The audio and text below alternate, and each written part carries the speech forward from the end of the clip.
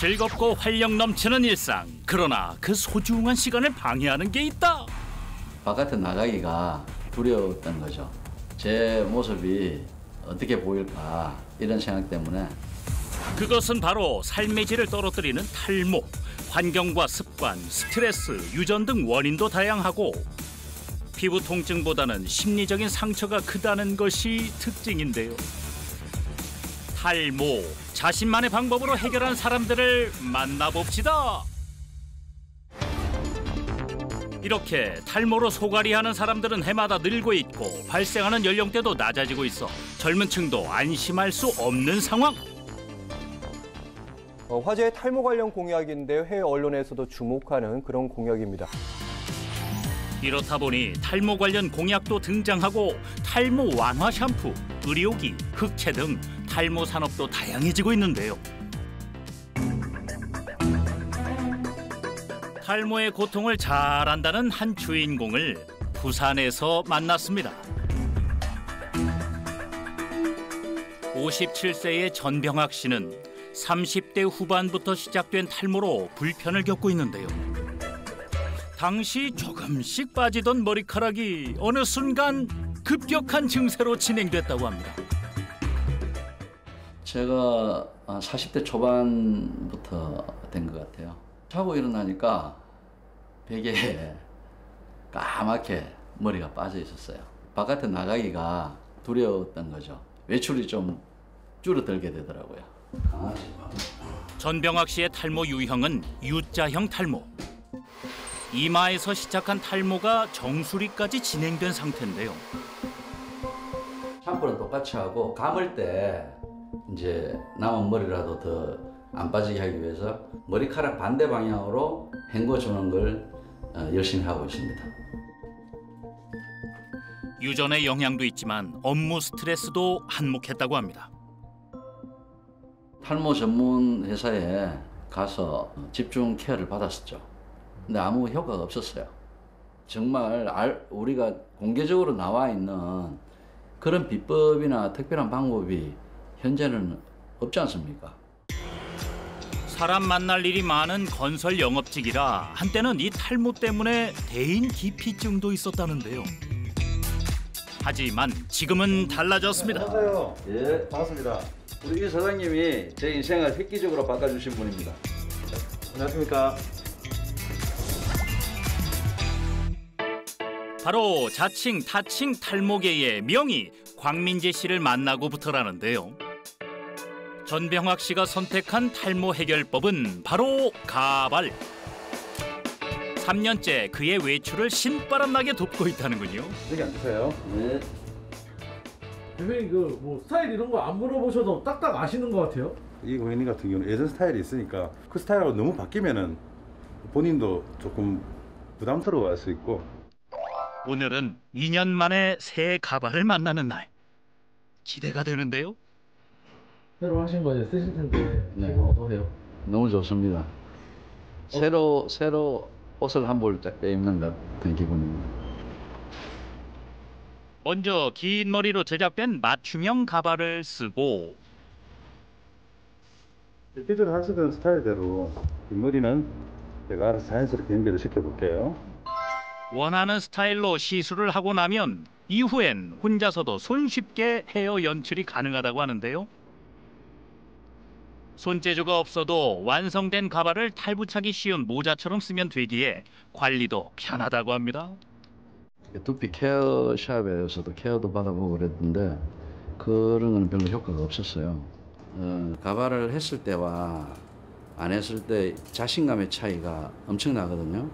어쨌든 별 마음의 부담 없이 에, 쓰고 벗고 이런 과정에서 관리하고 전병학 씨가 많은 시도 끝에 자신에게 맞는 탈모 해결법으로 정착한 가발. 바로 실용성과 미용적인 부분도 중요했기 때문입니다. 지금 여기서 만든 가발은 이중으로 처리를 했기 때문에 어, 살색 실크에서 머리카락을 뽑아 올린 그런 가발입니다. 내려다 봤을 때 오히려 더 자연스럽습니다. 바람 불어서 틀어져도 실제로 사람 두피랑 똑같이 보이니까 부담이 없는 거죠.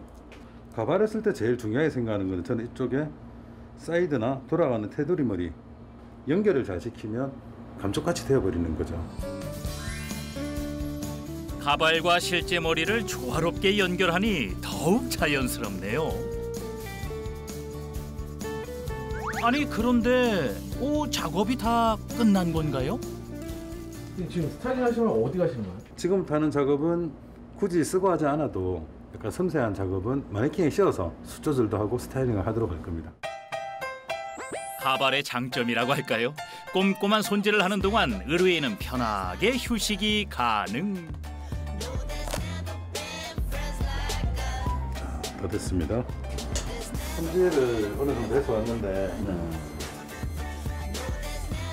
볼륨을 넣고 디자인을 끝낸 가발을 착용하고 드라이로 마무리하면 끝. 감사합니다. 다 했습니다. 네. 네, 마음에 드세요? 네. 어떤 점이 가장 마음에 드세요? 젊어 보이잖아요. 와 정말 인물이 확 살아났네요. 가발을 선택하고 난 이후부터 전병학 씨는 외출이 즐겁다고 하는데요.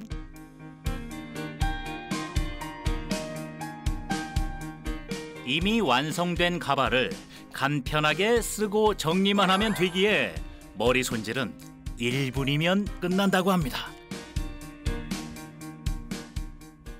아유, 그냥 집 가족뿐만 아니고 어, 친구 모임이나 어디 가면 새로 맞춘 가발을 어, 쓰고 보여주니까 어, 정말 놀라워하더라고요. 그래서 지금은 어, 가발 없이는 같이 다니지도 않고 그러고 있습니다. 이렇게 탈모인들의 심리와 불편한 점까지 잘 이해한다는 광민지 씨. 어쩜 그렇게 고객들의 마음을 잘 하시나요? 저도 위해가 많이 없습니다. 지금 이렇게 풍성하시잖아요. 예, 사실은 가발이에요. 어, 근데 정말 가발 같지가 않은데? 예, 가발 맞습니다. 아, 한번 보여줄 수 있어요? 네, 제가 한번 보여드릴게요.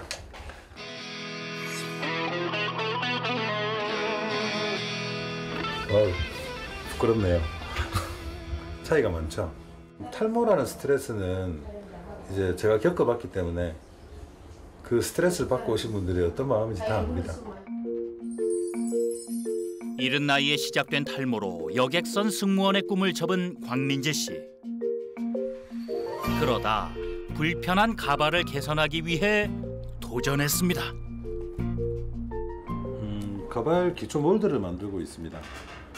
어, 고객님 투상을 본을 떴는데 어, 이 본을 가지고 음, 이마 라인 소재, 정수리 소재, 또 망사 소재, 또 테두리 그런 작업을 지금 하고 있죠. 이 가발에 가발을 만들기에 필요한 정보는 다 있습니다. 그리고 안쪽에 보시면 음, 이 고객님의 머리 샘플도 있죠. 이 샘플을 바탕으로 해서 음, 굵기나 색깔까지 맞출 수 있거든요. 단순한 제작을 넘어 가발의 실용성과 미적 감각을 더한 것이지요. 그 머리 컬러라든가 모양, 어, 백모, 그러니까 흰머리 같은 프로테이지가 다 적혀 있거든요. 이거를 보면 그 저희 제품, 기존 제품이 어떤 상태인지가 알 수가 있습니다.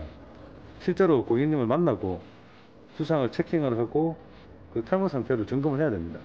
그렇게 본을 뜨게 되면 그다음부터는 비대면이 가능합니다. 아버지와 형 그리고 자신이 가발을 이용하면서 겪은 불편함을 해결하다 보니 어느덧 많은 이들이 찾는 가발을 만들어냈습니다.